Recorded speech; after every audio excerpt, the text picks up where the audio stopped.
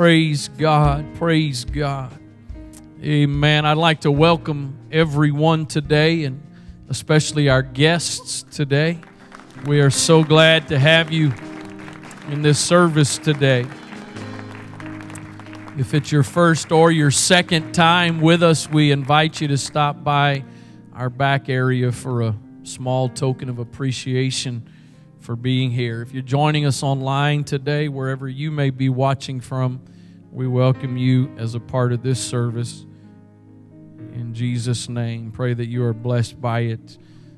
My wife introduced herself. Brother Burnell Jr. said he was going to introduce me this morning. So uh, I'm David Wright, and she's the pastor's wife, and I think I'm the pastor. So hopefully, absence makes the heart grow fonder. Thank you for that reaffirming response. It's very moving, touching. Whoops, that backfired. no, but in all seriousness, it's been a very busy month. Thankfully, it's changed, and uh, you're stuck with me for a while now. So, amen. Okay, so you sort of redeemed yourself. Praise God. You can be seated.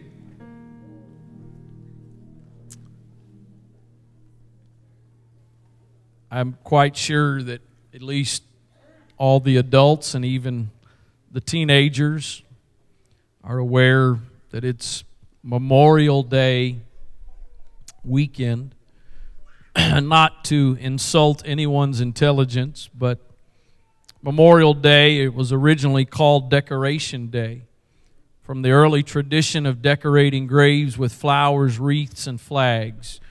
Memorial Day is a day for remembrance of those who have died in service to our country.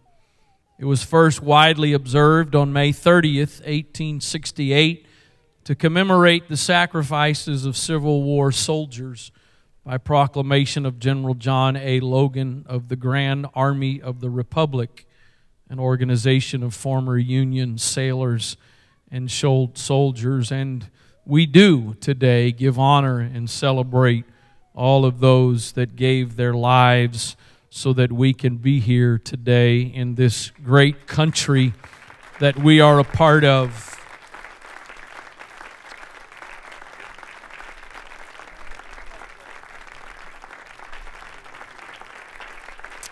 Amen.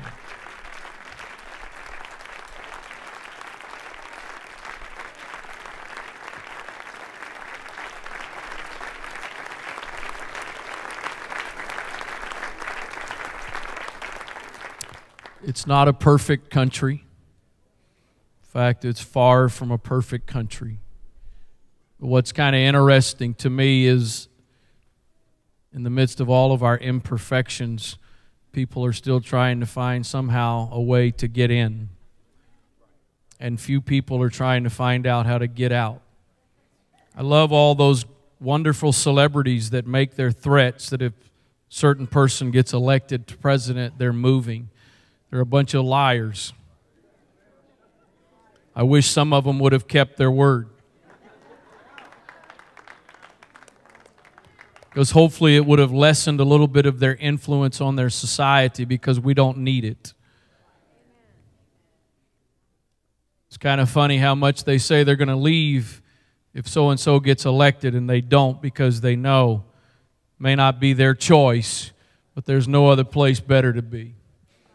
I haven't traveled as much as some, but I've traveled a lot more than others, and I can tell you I have never one time been disappointed that it was time to come home. Saw some great sights, experienced some great things, but there's no place like home. So again, we honor the many people who sacrificed for us to be able to enjoy the freedoms that we enjoy today. It's called Memorial Day, a memorial we're fairly familiar with memorials.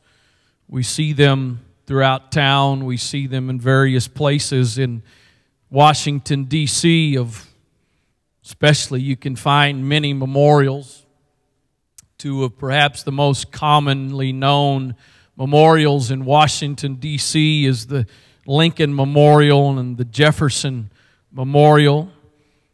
And the Lincoln Memorial inscribed above the statue of President Lincoln, it says, In this temple, as in the hearts of the people for whom he saved the Union, the memory of Abraham Lincoln is enshrined forever.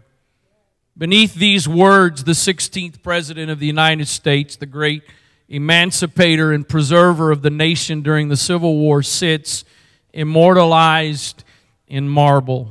Just a short distance from that is the Jefferson Memorial that pays tribute to one of our most significant founding fathers and the primary author of the Declaration of Independence. A memorial is intended to be a continual and ongoing reminder of something that was done, something that was accomplished. Uh, there, there are those like Jefferson and Lincoln who, in essence, the memorial stands not with regards to a specific tragedy, but more so to the accomplishments that they had. While Lincoln's life ended abruptly in assassination, he still lived a fairly full life. I happened to come across a couple of days ago, just earlier this week, as I was scrolling through Facebook, an individual that used to be a part of this church that moved away, that was giving a uh, speech, if you will, in the church they now attend in light of Memorial Day. They served in Vietnam and uh, they shared the story of how when they arrived in Vietnam, they found, I think it was almost, I mean, it was like one of the first days there, if not the first day, met a fellow soldier who was also from Baltimore and grew up a few streets away from this guy, and they didn't even know each other. And just within the next day or two, that individual lost his life. I, I, I appreciate, we appreciate the sacrifices that have been made for us to be here. And I don't want this to sound in any way disparaging or disrespectful. But while many have willingly gave their lives, I don't think that was their plan or dream.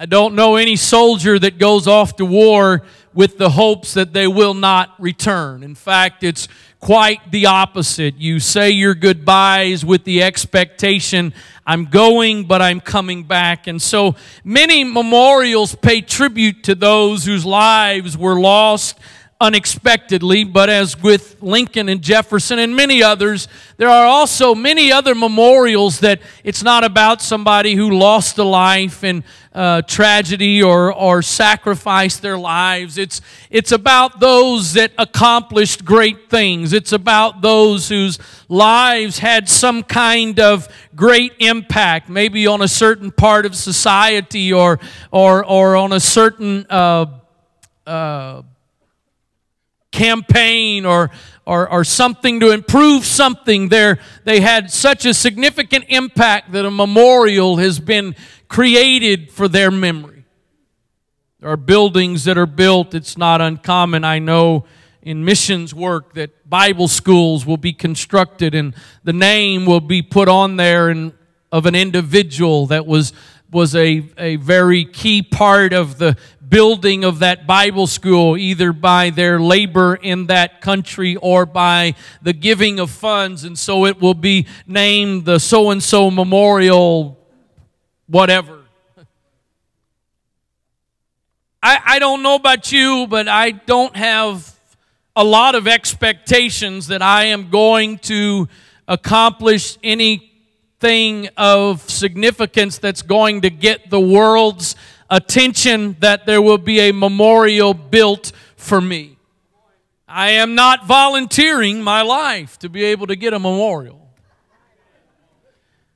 I read an article the other day that was sent to several folks, group email, and it was of a Navy SEAL who was just, I think, just a couple of days ago, awarded the Medal of Honor for service in Afghanistan. And in the article, he made the statement he would willingly give back, give up the medal if he could exchange it for the other lives that were lost.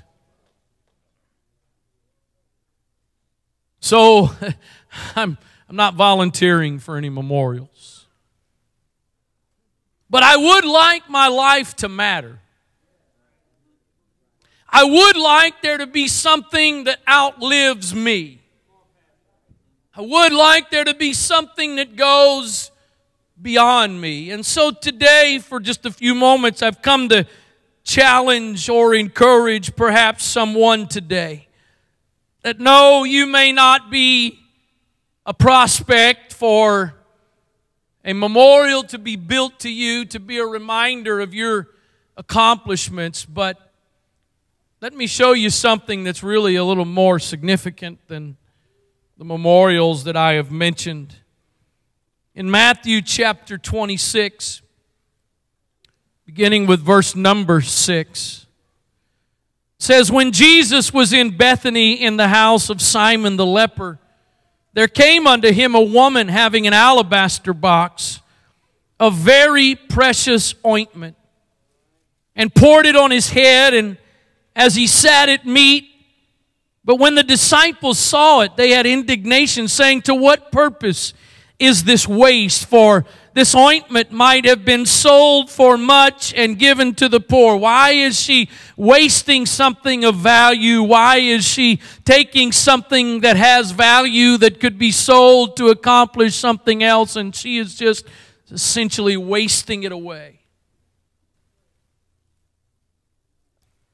But Jesus replies and says, Why trouble ye the woman? For she hath wrought a good work upon me.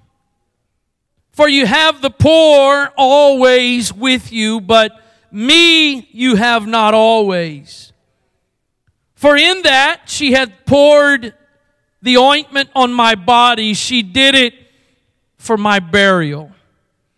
Verily I say unto you, wheresoever this gospel shall be preached in the whole world, if I might add, for all of time. So it's not only wherever, or not, it's not just wheresoever this gospel is preached, it's also whenever this gospel is preached.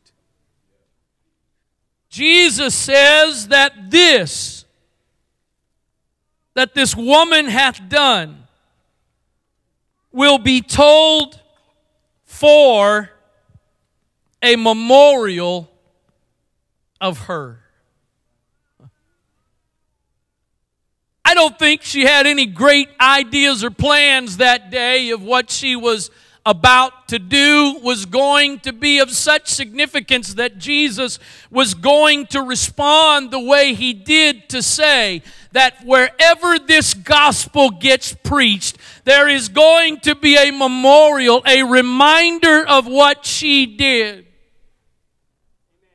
We celebrate Jefferson, we celebrate Lincoln, but they've only been around a relatively short period of time. Those of you that have ever had the opportunity to travel to Europe in particular, you travel there, and when you go there and you see buildings that are older than our country, you realize we have not been around very long.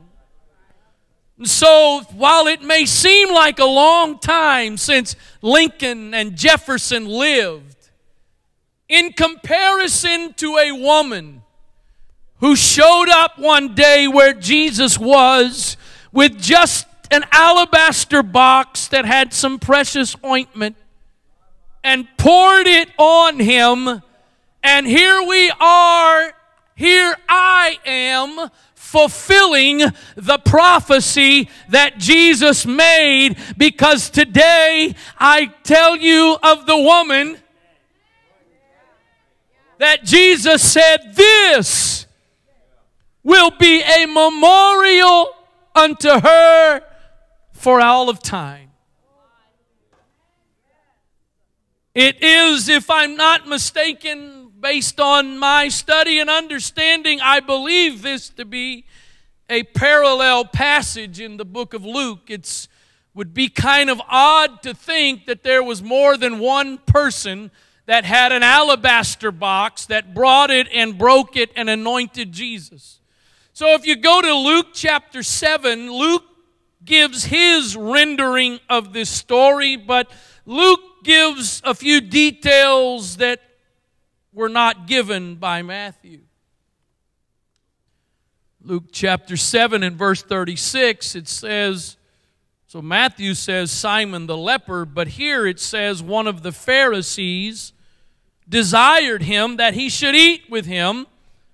And he went into the Pharisee's house and sat down to meat. It is, it is assumed that Matthew's description of Simon the leper is an indicator that Simon was a leper that Jesus had healed. For those of you that may not know much about leprosy, Jesus would, or Jesus would have, but everybody else would not have been at dinner at the house of a leper. In fact, the leper got banished to the leper colony, and the leper had to walk down the street and yell out, unclean, unclean. And as they did that, people would scatter out of the way because they did not want to have any contact with the leper. So when Matthew says that he was at Simon the leper's house, it is, it is more than likely that Jesus had healed Simon. But again, Luke says a Pharisee desired that he would eat with him. Verse number 37 And behold, a woman in the city now, notice what Luke says that Matthew didn't say a sinner. There's several different, or I say several, there's one at least, thought of what kind of sinner she was. That basically being a prostitute. So she knew that Jesus sat at meat in the Pharisee's house. She brought an alabaster box of ointment. It is also thought that the reason she knew that Jesus was at this house is because she had a connection to this house and was now an outcast from this house. And so she hears that Jesus is there and brings this alabaster box of ointment. And she stood at his feet behind him, weeping, and began to wash his feet with tears, and did wipe them with the hairs of her head, and kissed his feet, and anointed them with ointment. Now, when the Pharisee, which had bidden him, saw it, he spake within himself, saying, This man, if he were a prophet, would have known who and what manner of woman this is that toucheth him, for she is a sinner. It's kind of funny, we, we categorize sinners. Well, she's a sinner. He's a sinner. But I'm a good person, so I'm not a sinner. The Bible clearly takes care of that when it tells us that all have sinned and come short of the glory of God. So leave it to a Pharisee to point out somebody else as being a sinner. If Jesus knew, if he really knew, if he really was a prophet, he would know who this woman was. And so the implication is if he knew who she was, he would not allow her to do what she's doing.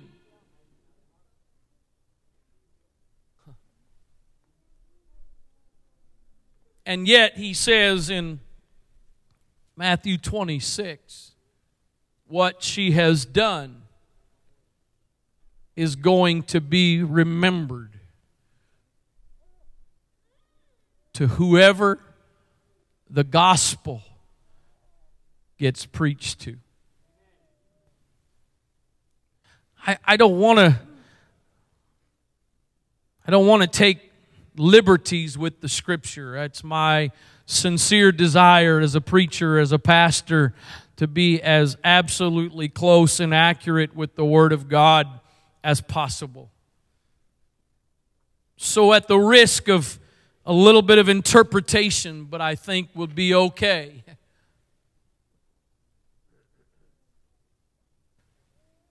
I think it's kind of safe to imagine, in particular, based on what Luke says of this woman, based on the reputation that she obviously had, based on the opinions of those that knew her, based on their reaction to what she did. The, the disciples say we could, we could use that and sell that and make some money and bless the, the poor. But the Pharisee said if, you know, if he really knew who she was, I think it's fairly safe to say she probably didn't have a whole lot. I, I doubt that she was living a life of luxury. Based on the response to her coming into this house and doing what she did, obviously there were those that looked down on her in particular those that really knew her. I'm not all that bothered by what people think about me that I don't really know. I'm not really all that bothered by the opinions of those I am not that familiar with. But when it comes to friends and especially to my family and especially my immediate family, I greatly value what they think and what they feel about me. And so apparently, those closest to her did not think a whole lot of her. And so I think it would be fairly safe to say that this alabaster box of precious ointment was probably her prized possession. It was probably the thing that she held on to to give some degree of value and comfort to a life that didn't really have a whole lot of value. Nobody really understood, I don't think, besides Jesus, what was going on when she did what she did. And I don't think anybody understood, besides Jesus, what she was communicating by what she did. That she was willing to take the very best that she had. You see, the Pharisee was able to invite him to dinner and put on a great spread because that's what he had the ability to do. She didn't have the means to invite him to her house for dinner. She did not have the means to put on the same kind of spread that was being put on in the Pharisee's house. All she had was an alabaster box of precious ointment. Overshadowed by a pretty bad reputation. But she decides not, I don't think, with any images of greatness or any, any dreams of what it was going to accomplish for the future. She just decides I'm going to take what I have and I'm going to do what I can do. And she shows up at the house of the Pharisee and begins to pour that precious ointment on Jesus. And those sitting around who had more and could do more looked on her with disgust. But Jesus replies and says, What she has done is going to become a memorial that from now on, wherever the gospel gets preached, she is going to be remembered.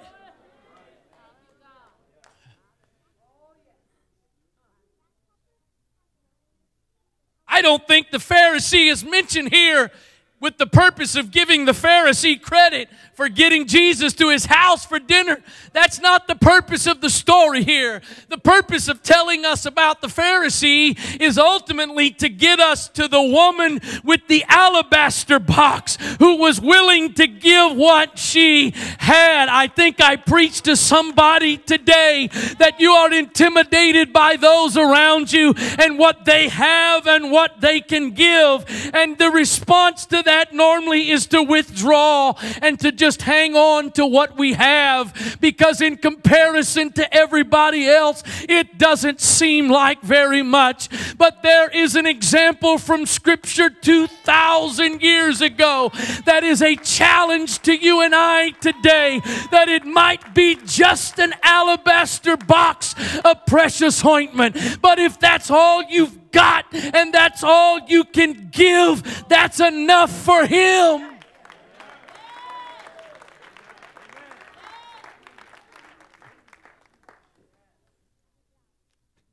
If you do a search in a concordance of the word memorial, you will find it many times in the Old Testament.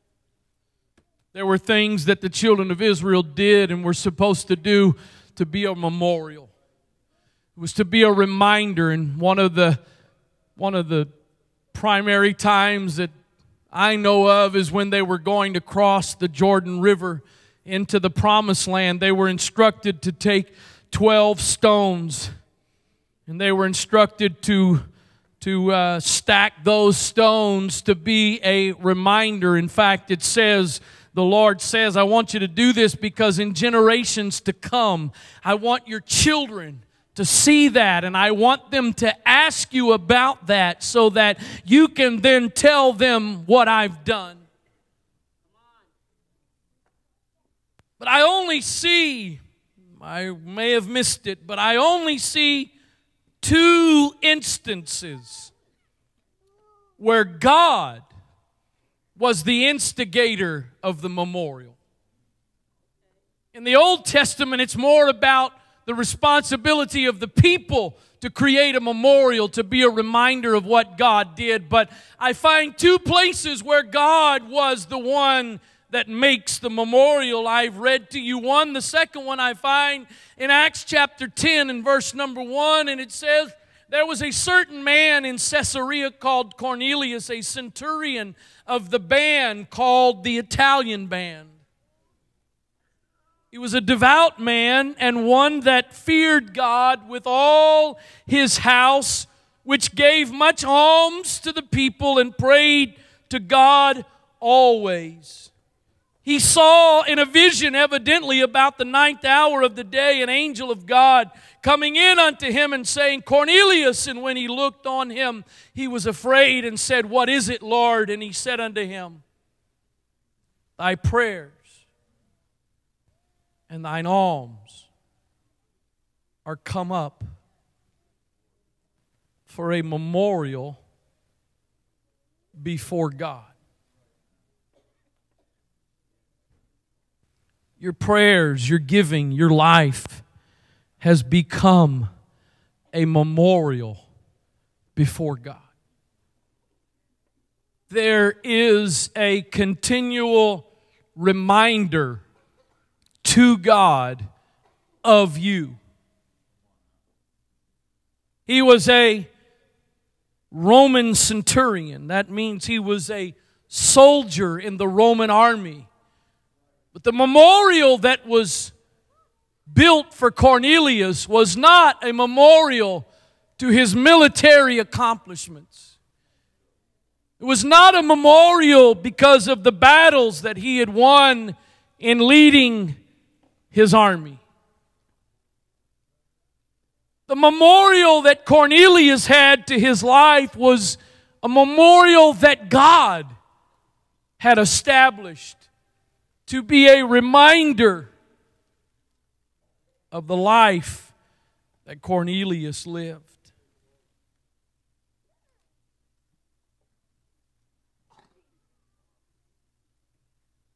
The encouraging thing to me about this memorial is the fact that there is no individual who is incapable of doing what Cornelius did to get his memorial.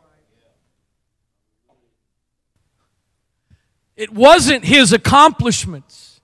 It wasn't his military expertise that got him a memorial. I, I, I'll never lead an army.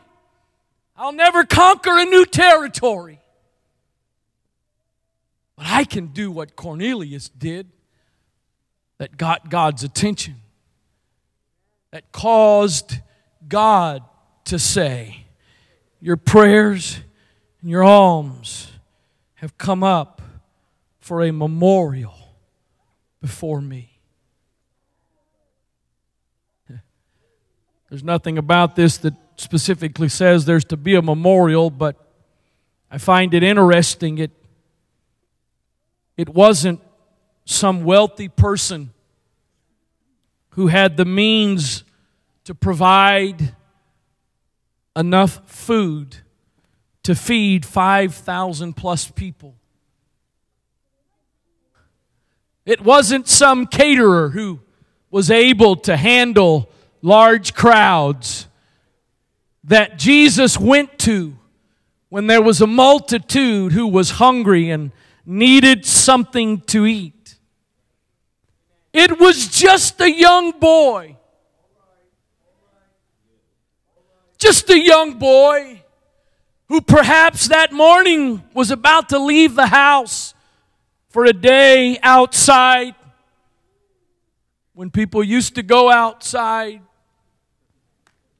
people used to do stuff outside. When punishment was having to come in instead of punishment now being you've got to go out. I, I, I kind of imagine, I kind of imagine him leaving the house that morning, and as he was about to walk out the house, his mother says, Here, take this. And she hands him his David and Goliath lunchbox.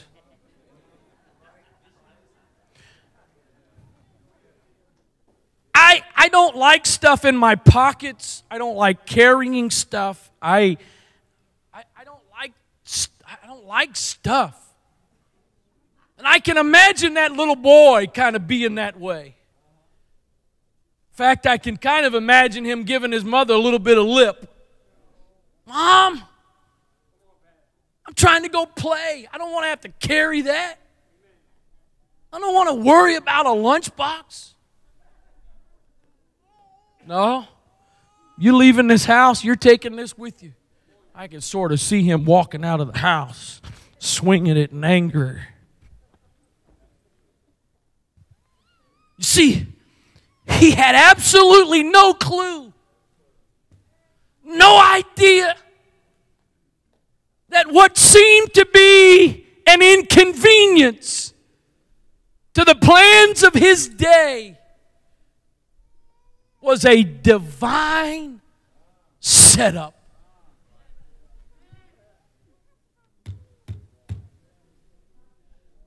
His, the King James says loaves. You and I have one idea of loaves. They weren't loaves. They were basically biscuits. And it also says plainly they were two small fishes. So he had five biscuits and two small fishes. That was probably just enough to feed him. It seemed like just enough for him. But what he did not know was five loaves and two fishes was just enough to take care of 5,000 plus people. You may not be a caterer today that can feed a banquet of thousands of people, but if you've walked into this place and you've got five loaves and two fishes, if you're willing to take whatever it is you have, no matter how small or insignificant it may be, and give it to the Master, it's enough. I believe that somewhere in this sanctuary today is probably someone that could relate to the woman that showed up to Simon the leper's house. Maybe you don't have the greatest of reputations. Maybe you're not looked on with the greatest of fondness by your family and those around you. And you've only got a few valuable possessions that you've hold on to. If an alabaster box, if an alabaster box with a little bit of an oint, little bit of ointment poured on Jesus was enough that 2,000 years later 2,000 years later, she is still being talked about. And I've come to tell you whatever it is you have, if you just be willing to give it, it's enough to be worthy of a memorial. You don't have to have some great accomplishment. You don't have to have some great achievements. Your life doesn't have to have some successes that get you on the front of the magazines at the checkout line at the grocery store so that the world knows your name. But if you just take what you have, somebody please hear me this morning. Please hear me this morning. Whatever you have is enough. Whatever you have is enough. The question is not, do you have enough? The only question is this what are you going to do with what you have? If that young boy would have showed up with the crowd and kept what he had because it's only enough for me and it can't really do that much, then we would not be talking about him today. If the woman with the alabaster box of precious ointment would have just stayed off to herself and hung on to what was valuable to her, but she felt like was not good enough for anybody else, we wouldn't be talking about her today. But she decided it's not much. The big scheme of things, it's nothing all that significant. But it's what I have, and it's what I can give. And Jesus says, wherever this gospel gets preached. What she has done will be a memorial for her. Would you just close your eyes, bow your heads right where you're sitting? sitting.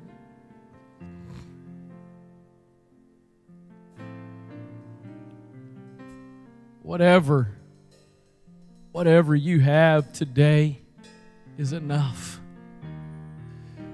Whatever you have is enough. It's not that you've got to sit and wait until you're able to gather up equal to what someone else has or what someone else can do. It's simply a matter of you taking what you have and giving it to Him. I wonder whether guest or faithful member wonder if there's anybody that has something today that it may seem extremely small and insignificant to you. But like the woman with the alabaster box, you're willing to pour it out on Him today as your offering of what you are able to do. That if you'd be willing right now, as uncomfortable perhaps as it might be for some. I don't think it was very comfortable for her to push her way into the house where the meal was taking place to do what she did because she was not welcome there, but at least you're welcomed here. Anybody this morning that you've got an alabaster box that you'd like to come present to Him today? Anybody got five loaves and two fishes this morning that doesn't appear to be very much in comparison to the need, but you're willing to take what you have and give it to Him? You don't have to be a centurion today who's able to fight great battles and have great military accomplishments if you can you can just pray. You can just give of what you have. That's enough for a memorial. That's enough. That's enough to get his attention. That's enough for him to create the reminder for there to be an ongoing representation of what was done. Oh, I believe I, I believe I'm preaching to some folks in this place today that the enemy has got you trying to get you to believe that what you have is so insignificant. What you what you can do is so small. But what God's attitude towards what you have is He's saying, just give me what you got. Just bring me what you can bring me. Just give me what you have. I'm not asking you to give me what somebody else has. I'm not asking you to have to measure up to somebody else's accomplishments. I just want you to give me what you can give me. It's enough. It's enough. In the name of Jesus. In the name of Jesus. If you don't need to respond for yourself right now, would you be sensitive to the leading of the Spirit of the Lord? You don't need to pray for yourself right now, that's fine. Would you be sensitive to the Lord to use you to minister to someone else this morning? Maybe somebody's got an alabaster box today that they want to give, but they're just a little uncertain if He'll accept it. That maybe a little bit of encouragement, maybe a word of encouragement will be what is needed to be willing to release. May seem small, may seem insignificant but it very well may be worthy of a memorial. it very well may be worthy of a memorial. In the name of Jesus, in the name of Jesus, I live for you, Lord. I live for you, Lord.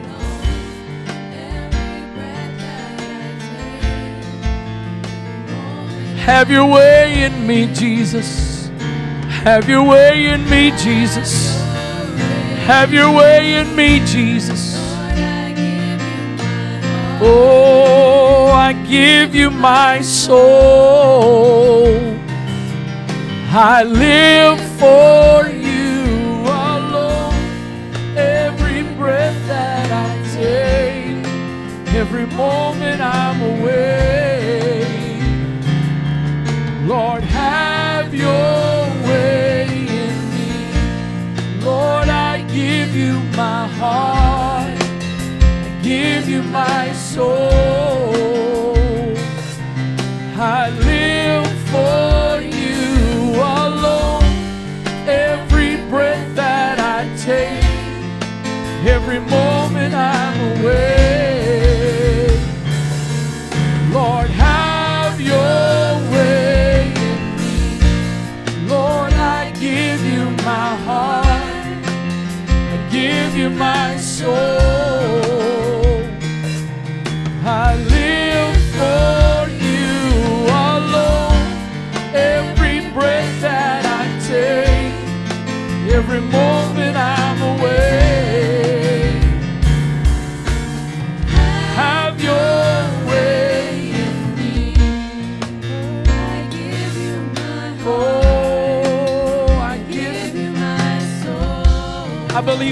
to some people today that the faithfulness that you have exhibited, the faithfulness with which you have lived for God, has come up as a memorial. The world may not know your name, the world may not recognize you, the world may not give you accolades, but heaven recognizes you. Heaven knows who you are.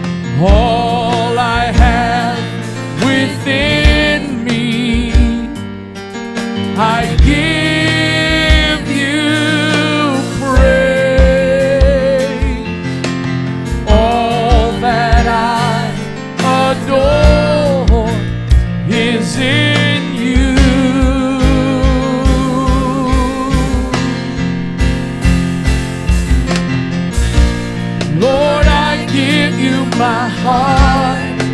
I give you my soul. I live for you alone. Every breath that I take, every moment I'm away. Lord, have your way in me. Lord, I give you my heart give you my soul. I live for you alone. Every breath that I take, every moment I'm away. Lord, have your way me. If you need to go, whenever you're ready to go, you're welcome to do so. God bless you. Thank you for being here today. Spirit of the Lord is still touching some hearts and lives, so please be mindful of those around you that may still be praying.